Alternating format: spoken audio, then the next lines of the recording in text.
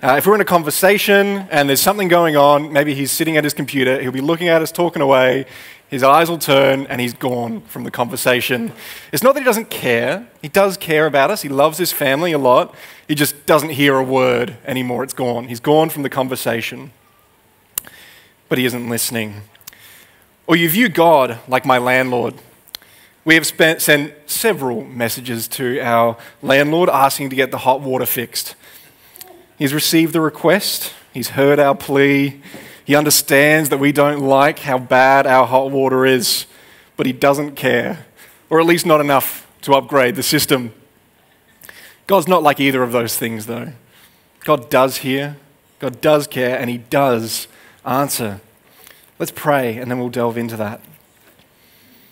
Lord, you are the sovereign God who has reached out to his creation. Lord, you have made yourself known to us. Lord, we thank you that you have provided us with an avenue for connection. Um, Lord, you provided us with your word, a guide to righteousness, a guide, a sure way of knowing you. Lord, we ask that you would help us humble ourselves this morning as we approach your word. Uh, send your spirit that it may challenge us who have wrong understandings of prayer and comfort those of us who are wrestling with this challenging topic. We ask these things in Jesus' name. Amen. So today we're continuing our series looking at some of the assurances that God gives throughout Scripture. We've looked at the assurance of salvation, that we can be sure we are saved. We looked at the assurance of forgiveness, that those who are in Christ are forgiven from their sins. The assurance of victory, that no matter how tempted we are, how bad our life may seem, we still have victory over that. And it's all rooted in His perfect and unchanging character, a Father that loves us so deeply. Today we're going to be looking at the assurance that God gives us that He will answer our prayers. So those who are in Christ can be assured that those that they have their prayers answered. We're going to be looking at three things this morning. First, we're going to call, uh, see that God calls us to ask. God wants us to bring our prayers before Him and our petitions to Him. Secondly, God calls us to conform, to submit our wills to His sovereign will. And finally, God calls us to trust. Even when it doesn't make sense, we can rely on his good and faithful and kind and unchanging character. So, the first point this God in the heavens, the God who loves us deeply, calls us to ask. He asks us to approach and to give him our petitions.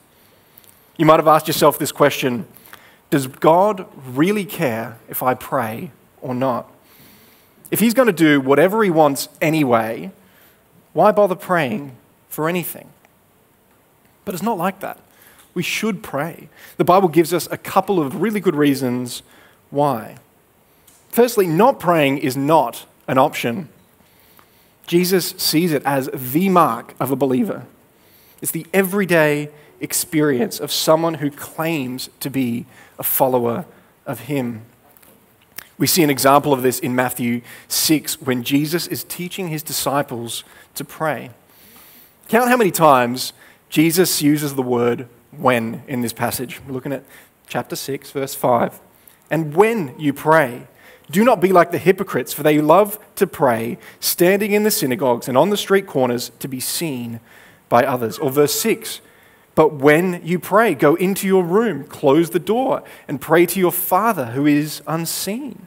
Or verse 7 And when you pray, do not keep on babbling like pagans, for they think they will be heard because of their many words. That's three times in one short passage. It's not if you pray, it's when you pray. So prayer is expected, it's part of the daily rhythm of a believer. Secondly, the very question of should I bother shows a lot about how you view prayer and God. I think we tend to treat prayer like a bushfire last resort. I grew up in the hills, and there would be people that would fight to the very last minute before this raging fire is coming to flee to these last resort refuges.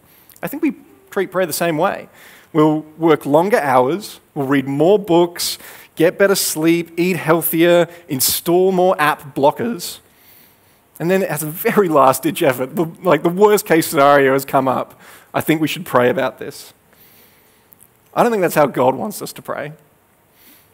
I think He wants us to pray about our everyday struggles. I think we see that um, one of the most tremendous and comforting aspects of Christian theology is that God actually cares about your everyday struggles. Look at Philippians 4 6 through 7. Do not be anxious about anything, but in every situation, by prayer and petition, with thanksgiving, present your requests to God. Secondly, he wants us to pray confident that he will answer. Look at 1 John 5 14 through 15. And this is the confidence that we have towards him that if we ask anything according to his will, he hears us. And if we know that he hears us in whatever we ask, we know that we have the request that we have asked of him. We can pray boldly, knowing that the God of the universe, the God who is ultimately relation, intimately relational through his Son and the Spirit, hears our prayers and will provide an answer. And we see that it's actually really good to ask for things. John 16, 24, which is our memory verse for this week, says, Until now, you have not asked for anything in my name. Ask and you will receive, and your joy will be complete. Matthew 7, verse 7 through 8 says, Ask and it will be given to you. Seek and you will find. Knock and the door will be open to you. For everyone who asks receives. The one who seeks finds, and the one who knocks, the door will be opened. So, in obedience to God and with confidence that He is eager to hear our requests, we are called to pray. Not just about the big things, but the little things too. Second point is that we're called to conform. We're called to submit our will to God.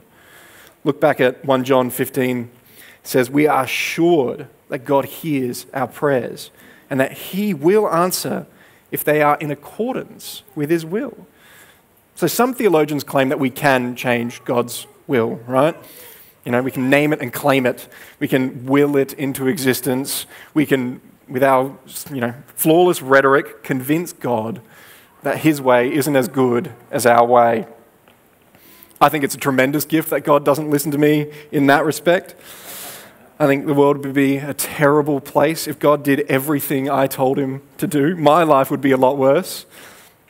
I think it would be an unmitigated disaster for all of us, right? And I think God's in the heavens waiting for us to provide Him with the right information, the right input. Nothing surprises God. He's established His will from before the foundations of the earth. So there is a bit of a caveat here. A, this isn't just a blanket promise that God will give us anything we want, right? It says we must, it must be in accordance with His will.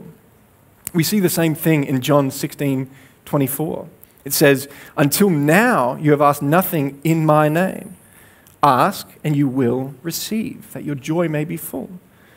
The principle is the same. The point of the John 16 passage isn't that as long as we tack Jesus' name onto the end of a prayer, we get whatever we want. It's a guarantee. Sorry, yeah, sorry. It's that you are acting as God's agent. Would Jesus put his name on this request? Would it get his stamp of approval? So, praying in Jesus' name signifies praying in accordance with his will, who he is, his character, and his purposes. It means seeking what Jesus would seek and aligning our prayers with his will and desires. So, so do prayers actually do anything? If we can't change God's mind, why bother praying? I think there are a couple of points to make on this. I think, firstly, prayer brings us into alignment with God's will. God's greatest will is that we get to know Him. So, prayer is not primarily about getting stuff from God, but rather it's to promote friendship and relationship with Him. Oswald Chambers puts it this way The point of prayer is that you may get to know God better. We also see this clearly in the Lord's Prayer Our Father who is in heaven, holy is your name. Notice the relational familiarity. A father. and the adoration and worship. Holy be your name. So, prayer isn't just about asking for things, it's about developing the relationship we have with God. That is, in and itself, a privilege. And secondly, prayers do have an effect. Ligon Duncan puts it this way In prayer, we become God's instrument to effect his will, and thus, in his grace, God ordains to work out his plan with the use of prayers. We'll look at that in a second. It's a complicated quote. Alec Motyer also says prayer is one of the laws of God by which he runs this world. So, what Duncan and Motyer are saying is that God, in his infinite plan and infinite wisdom, has ordained that you would have a need, has ordained that you would pray, and ordained that he would respond to your prayer. We see examples of this all throughout Scripture, but I'm going to look at Daniel 9. In Daniel 9, Daniel is praying earnestly for the forgiveness and restoration of Israel. Now, it took a long time for this answer, a prayer to, prayer to be answered. But if you read Ezra and Nehemiah, you see that he does answer that prayer. So we can have confidence that our prayers are before a sovereign God who will answer. I love the modern age of communication, but I really don't like how when I send a message on like Messenger or WhatsApp or whatever, it shows that I've seen the like when I receive a message, it, it shows that I've seen it. I don't like that. It puts too much pressure on me to respond then and there. I don't like that pressure. But if we look at 1 John 5 again, it says, If we know that he hears us in whatever we ask, we know that we have the requests that we have asked of him. So not, God has not only seen your message, it's already been answered. God knew you would pray, God ordained that you would pray, and in his divine will ordained that he would answer your prayer. But it doesn't always seem like he answers, right? Sometimes it feels like God has left you on read. But he does answer. And there are four possible answers that God can give us yes, no, later, and greater. Sometimes God gives an immediate, or at least close to immediate, yes to prayer. Sometimes He does heal that cancer. Sometimes you do get that immediate peace in times of trial. Sometimes He does help us find our luggage. I don't think there's anything outside of God's purview. One from Scripture is Peter's miraculous release from prison in Acts chapter 12. Other Christians were praying fervently for Peter's release. And would you believe it? God answered. Peter was released. Sometimes God says no. We see that in Deuteronomy 3, where Moses is pleading with God to enter the promised land, but God says no. Or Paul's thorn in the flesh in 2 Corinthians. Paul is pleading, please. He pleads three times with God. But God says, no. My grace is sufficient for you, for my power is made perfect in weakness. So Paul came to understand that this thorn kept him humble and reliant on God. Sometimes we'll get a no because our prayers are in direct conflict with God's explicit will in Scripture. Here are a few examples prayers that might bless sin. If you ask for, for God to bless your affair, I think He's probably going to say no. Or if He's going to keep feeding your idols of greed or lust, it's going to be a no. Sometimes we don't see prayer answered because we give up instantly. We assume that God has said no or that He doesn't care. But sometimes what he's looking for is us to grow in reliance on him and trusting him and persisting. Don Carson puts it this way Sometimes our lack of persistence in prayer is not a reflection of our great maturity, in that I've already laid this before the Lord and I'm at rest, but rather a reflection of our sheer unbelief. Some of us in our praying are rather like nasty little boys who go up to the doorbell, ring it, and run we're not really expecting an answer. And if an answer does come too quickly, we won't be there in any case to receive it. Look at Luke 18, 1 through 8, which says this is a parable that Jesus is telling his disciples. So one day, Jesus told his disciples a story to show that they should always pray and never give up. There was a judge in a certain city, he said, who neither feared God or, uh, or cared about people. A widow of that city came to him repeatedly, saying, Give me justice in this dispute with my enemy. The judge ignored her for a while. But finally, he said to himself, I don't fear God or care about people, but this woman is driving me crazy. I'm going to see that she gets justice because she is wearing me out with her constant requests. Then the Lord said, Learn a lesson from this unjust judge. Even he rendered a decision in the end. So don't you think God will surely give justice to his chosen people who cry out to him day and night? Will he keep putting them off? I tell you, he will grant justice to them quickly. The point of this is that we diligently and humbly and scripturally pray if we are certain that our prayers are not in direct conflict with the will of God, that explicit will, that is. There is no harm in praying regular and recurrent prayers. Three things might happen when we do that. Firstly, we realize that what we were asking for is not what was best for us. Secondly, God might answer suddenly, but after a very long wait. Three, God slowly answers our prayers. Sometimes these prayers don't look like they're being answered. It's only when we look back that we see that God has faithfully been answering with a yes. Maybe it's a prayer for better self control, or prayer to be more diligent in your Bible reading and praying, or prayer that you would grow in assurance of salvation or forgiveness or victory.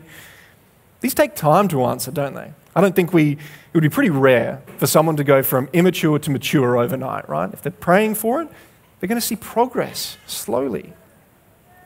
So these things teach us to rely on God, to trust that His way is better than our way. Sometimes God answers prayers in ways that we wouldn't expect, in greater ways than we could expect. Zacharias, the father of John the Baptist, surely prayed when he was a young man for a son. What would have happened if they received that son during the young years? We would never have known about it. It would have been just another son in history God gave them something better than they could have imagined John the Baptist, the last Old Testament prophet before the Messiah. So, God, in answering, can say, Yes, what you have prayed for is good and proper, and as your loving Father, I'll give it to you. Sometimes it's a no. This isn't for you. It's either explicitly out of God's will or God has a better plan. Sometimes God is using the process to grow your faith, grow your trust, grow your confidence. The waiting is itself a gift from God. And sometimes God gives us more than we could possibly understand to ask for. Now, I think there are some difficult challenges for us, right? What about when we pray good prayers and God says no? That leads us to point three. The challenge comes when we are praying for things that we think are very good, but God says no. There are a couple of ways of looking at this. Firstly, God might be withholding something that is bad for you. Look at Matthew 7 9 through 11, which says, Which of you, if your son asks for bread, will give him a stone? Or if he asks for a fish, will give him a snake? If you then, though you are evil, know how to give good gifts to your children, how much more will your Father in heaven give good gifts to those who ask him? We learn from this passage that God only gives good gifts. If something is going to be bad for you, a loving father will withhold it. If your son or daughter comes up to you asking for a snake, are you going to give them a snake? No. There's a quote thrown around by a lot of pastors. It says, Sometimes I thank God for the prayers left unanswered. I can think of countless prayers that, have, that I've prayed that, had God answered them, my life would be really difficult right now. I think we can understand that one, right? Many of you are parents. You know, you say no to your kid backflipping off a wall or swimming without floaties. They may not understand why, and it may not feel like you love them or care about them or what they want. But it is for their good, right? We get that. But what about times when it doesn't make sense? These are the really hard ones. Prayers like, save my grandpa. He doesn't believe in God. and he's just been diagnosed with cancer. Or help my depression. I don't know how long I can carry on with this. What do we do when the rubber hits the road like this? What do we do when we pray for days, for months, for years, and it just doesn't seem like God is answering, all right? Or even worse, when we pray and pray and grandpa does die, never demonstrating any relationship with God. This is where our theology matters. If we have a distorted view of God's character, we will have no answer to this question. And there is no easy answer to this question. There isn't some platitude we can slap on the situation and feel like it fixes everything. And I, I, don't think we should. I don't think the Bible demands that we slap a smile on, pretend everything is dandy, and get on with our lives. These are tragic stories. Many of you have stories where God has, for no particular reason, no perceptible reason, said no. Times where it felt like God has betrayed the trust that you have put in Him. Times where you spent hours begging with Him for Him only to say no. There's two things the Bible gives us for times like these. Firstly, the freedom and the framework to honestly lament in a faithful way. One of the greatest tragedies of the contemporary church is its almost complete inability to lament. But look at the Psalms. The Psalms are filled with accounts of feelings of complete brokenness, feelings of betrayal directed towards God, feelings of absolute desperation. Look at Psalm 38, where David is suffering both physical and emotional agony. Verses 2 and 3 say, your arrows have pierced me, and your hand has come down on me. Because of your wrath, there is no health in my body. There is no soundness in my bones because of my sin. Notice how David directs his pain towards God. Your arrows, your hand, your wrath. Then in verses 21 and 22 says, Lord, do not forsake me. Do not be far from me, my God. Come quickly to help me, my Lord and Savior. At this point in David's life, God hasn't answered his prayers. Life is still rough. His enemies are mounting, and he feels abandoned. Psalm 88 is even darker. These are the last few verses of that psalm. This is how the psalm concludes. But I cry to you for help, Lord. In the morning, my prayer comes before you. Why, Lord, do you reject me and hide your face from me? From my youth, I have suffered and been close to death. I have borne your terrors and am in despair. Your wrath has swept over me. Your terrors have destroyed me. All day long, they surround me like a flood. They have completely engulfed me. You have taken from me friend and neighbor. Darkness is my closest friend. Those are dark words, aren't they? That's despair. And the Bible validates these feelings of pain, of suffering, of the desperate feeling of rejection from God. But that's not all Scripture has to offer. When we're in these moments, these moments where it feels like God, no, will crush us, what do we do? Firstly, take note that these Psalms are prayers. These, this isn't petulant silence or a retreat from God. The psalmist runs to God with their pleas. They appeal to the one person who can solve their dilemma. There comes a point in almost every theological inquiry, a point where you have looked down every avenue. You've tried to see everything from every perspective. You've tried to rationalize and understand why something is the way it is. And prayer is no different. There comes a point after you have prayed and God has said no, where our only remaining option is to trust God and His character. We have the freedom, in fact, we have the command to lament. But ultimately, that, that lament must turn to trust. This doesn't have to be immediate. I think we have a tendency in the church to move on from lament way too quickly. And trust isn't easy. easy. It's incredibly hard to imagine how a God who is good wouldn't answer a seemingly good prayer. I, I don't understand it. I can't explain it. I don't think anyone can. And I don't think it's easy. In fact, I think it's impossible to trust God and our own accord. We need help. But the beautiful thing is, God has sent His Spirit, our comforter, our helper in time of need. And this is why we have harped on about the unchanging and good character of God throughout this series. We do have a good Father that loves us. We have a sovereign God who cares deeply about our pain and our sufferings and our trial and our lamenting and has shared in that pain in Christ. When we have that foundation to our theology, when we know that even if it doesn't make sense, God is working for our good and for His glory, only then are we able to trust that His decisions are good, always. They are always good, even when we don't understand them. But we do know that God does answer prayer, and He's eager to foster relationship. He's eager for us to grow in our ability to trust Him. And prayer achieves these things, even when the answer is no. Some of you eagle eyed people might have seen the acronym in this sermon. God is calling us to act. God is calling us to ask in faith and in patience. God is calling us to conform in humility. God is calling us to trust that He is a good God.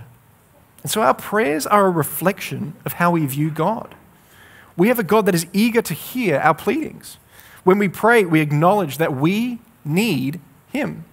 We have confidence that in His sovereign will, He will most assuredly answer. We hope that He will conform our will with His will. And finally, we trust that even when we don't understand the answer, He is good and working for our good and His glory. Let's pray. Lord, we thank you for your unchanging, good, righteous, perfect character. Lord, you are the God who listens and answers our pleas. Lord, you know us intimately and you love us. Lord, how often do we treat prayer wrongly? How often do we prioritize the gift you have given us over the giver? Lord, help us approach your throne with confidence. Help us ask for big things and little things.